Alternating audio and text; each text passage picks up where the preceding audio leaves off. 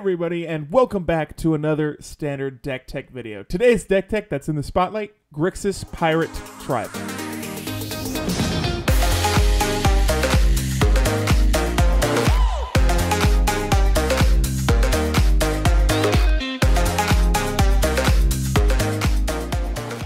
The deck has greatly improved from Ixalan thanks to the new additions of some of the pirates and rivals of Ixalan. It's gotten faster, it's gotten stronger, and has gotten a lot more fun. So if you'd like to pick up any of the cards I'm about to show you in this deck, or just cards in general, if you go to flipsidegaming.com and use my promo code GREAT at checkout, you can save 10% off of your Magic singles and products over $10. You're supporting me and the channel while saving money at the same time. On top of that, as well as getting some of your pirate cards from their site. So that's enough of the chitter chatter. Let's roll into the deck. The Grixis pirate list I made in Ixalan had flaring problems. It was an aggressive deck with not a ton of good aggressive units. Sure, it had Fathom Fleet Captain and Siren Stormtamer, which, by the way, are on this list as well. They couldn't just hold up the aggro by themselves. However, with the additions of Daring Buccaneer, Warkite Marauder, and Stormfleet Sprinter, the deck is much more aggressive and far more consistent at being aggressive.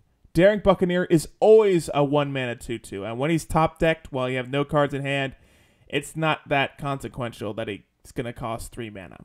Warkite Marauder turns your opponent's best creature, whether early or late in the game, into a useless 0 1 ability-less chump blocker, which is a very strong effect on a 2 drop creature. And finally, Stormfleet Sprinter is just what the deck needs. A haste 3 drop that's unblockable and really helps put your opponent on their back heel. Not to mention, this card gets broken when you have one of our Pirate Lords out. Speaking of Pirate Lords, we're playing Metallic Mimic and Admiral Beckett Brass. We should all know what these two cards do at this point, but essentially, they buff our pirates. I hardly ever get Admiral Beckett Brass's stealing ability off, but that's okay, since we only really use her for her Lord ability.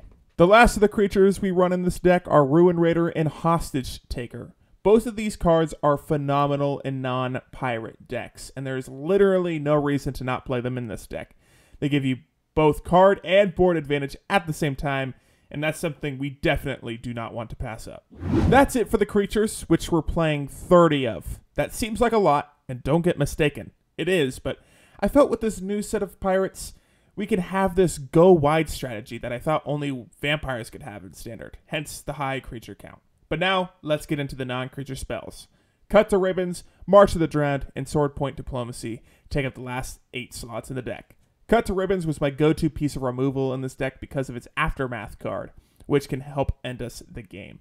Yeah, it's at sorcery speed, but dealing 4 damage to a creature for 2 mana is too good to pass up in a Grixis aggro deck. March of the Drowned was a much better card than I expected. Right now, at least for me, there's a ton of control running around, and March the Drowned can help us rebuild our board state by returning killed creatures from our graveyard back to our hand. And finally, Sword Point Diplomacy. Now, I know some of you don't like this card, and that's totally fine, but it worked here for me. We want card advantage, and we want to kill our opponent, and this helps do both of those things. But if you don't want to play the two copies of this, you can replace them with some Fatal Pushes or finish out the playset of March of the Drowned. That's it for our spells, and now the lands. The lands are really tricky in this deck, and honestly, we're going to have to see Dominaria's lands to improve the land base here. We're playing 4 Spire Bluff Canal, 2 Dragon Skull Summit, 2 Drowned Catacomb, 4 Unclaimed Territory, 3 Island, 3 Mountain, and 4 Swamps. Despite the variety of the lands we have here, it's still really clanky. We want untapped lands during the beginning of the game, and this was the best combo I had for that. Hopefully you can improve upon this land base when Dominaria releases. Sideboard is going to be similar to my Vampire deck tech sideboard.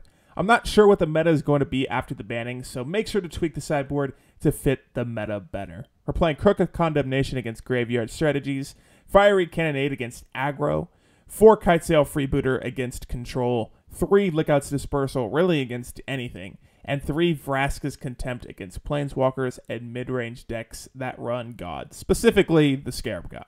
That's it for this video, guys, but before you leave, make sure to hit that subscribe button and hit that nice little bell next to it so you can get a notification whenever I upload.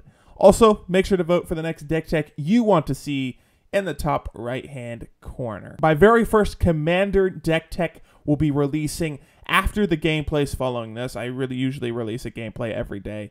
So uh, tomorrow you're going to see the first gameplay of this, and then the next day, you know, the second one, the next day, the third one, and probably on that third day of that gameplay, I will release the Commander Deck Tech. The Commander Deck Tech will not have gameplay, unfortunately, but uh, you don't really need gameplay proof. Okay, Commander's all about having fun. Anyways, thank you guys so much for watching. I do hope you enjoyed, and I'll hopefully see you for those gameplays and the next Commander Deck Tech, and I guess the next Standard Deck Tech.